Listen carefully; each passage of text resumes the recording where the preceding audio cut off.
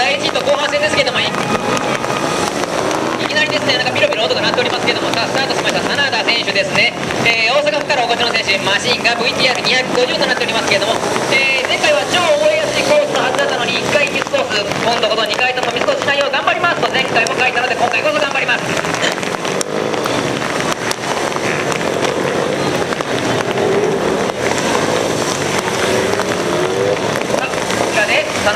ですけれども綺麗に再開をしております。さあもうこのますとねインパクトによりますとねもう全然ノーミス。でわずか違います。のでさあ綺麗に回っております。このままアクセルを上げて直線スパイロに入るところですのでいい加速この雨の中頑張って上げておりますいきなりと回っておりますさあそのまま加速を残したまま大きなところに入ります3位こちらの高速からの3位どんなもんだろううまいことの違いに負けていきます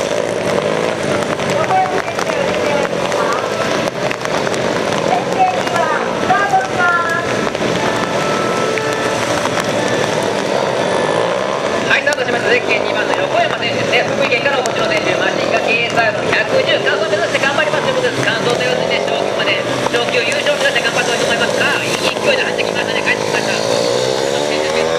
いい勢いで VTR で食い込んでいきますけども、さあ、このまま3回のゲートセクションを貫いて、ガッツセクションに入ってきた、ガッツセクションさ、みんな鬼門だ、もう曲がれるか曲がれないかところで回っておりますけども、さあ、曲がった、1回目 OK。さあ、もう1回入るぞ。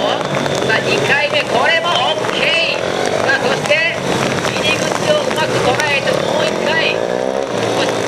3回、もう1回真ん中貫いて、ゴールだ、行ってもらいたい。あ、ゴー、入るぞ。